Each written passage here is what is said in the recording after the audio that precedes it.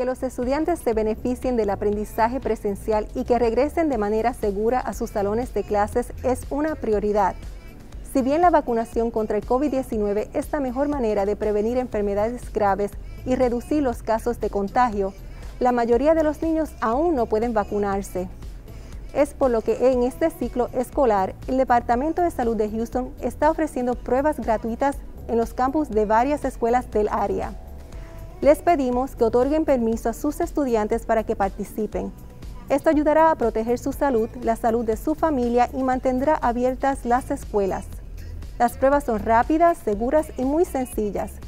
Para los estudiantes de kindergarten a quinto grado, las enfermeras escolares administrarán de forma indolora y rápida un hisopo de nariz poco profundo. El hisopo solo entrará de la mitad a tres cuartos de pulgada en la nariz y se gira tres veces en cada fosa nasal.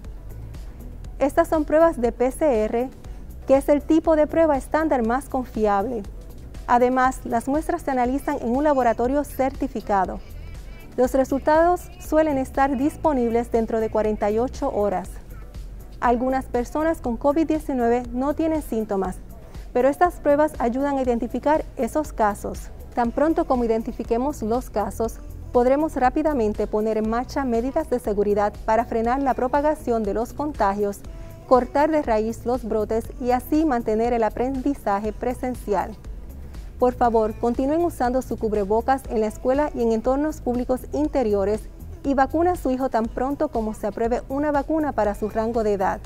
Juntos podemos proteger a nuestros hijos, familias y amigos, además de acercarnos más a la vida normal.